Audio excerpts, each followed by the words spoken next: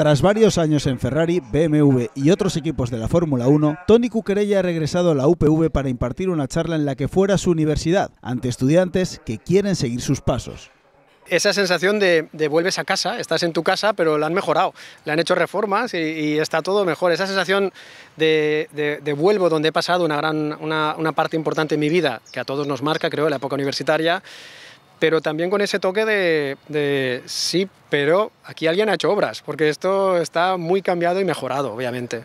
Pese a reconocer el esfuerzo académico de la carrera, el ingeniero gandiense, tras recorrer el mundo entre la élite de su especialidad, tiene claro el nivel de preparación que brinda la UPV. No es porque yo haya estudiado aquí, pero yo sí que he tenido la, la, gran ventaja de hacer comparaciones de tú a tú con ingenieros de otras nacionalidades formados en otras universidades. No creo que la formación sea nuestro problema. Por falta de conocimientos no, no nos tose nadie, vamos, estamos, estamos ahí y creo que es, es una universidad perfecta para, para, ser tu primer escalón a saltar a una, una vida laboral.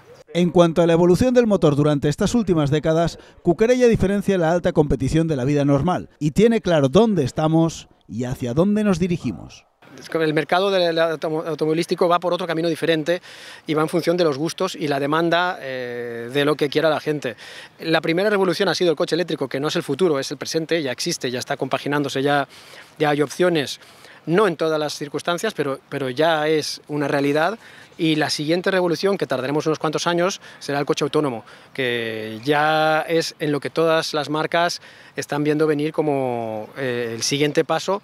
Y no es que lo vivirán nuestros hijos, no, lo vamos a vivir nosotros. Por último, consultado sobre el próximo Mundial de Fórmula 1 y las posibilidades de Sainz y Alonso, Cuquerella avisa, este puede ser un gran año. Que Carlos está en un equipo top y... Eh, es un equipo que si lo acierta puede tener el mejor coche de la parrilla. Es, eh, Ferrari ya lo ha hecho en el pasado y no hay ningún, problema.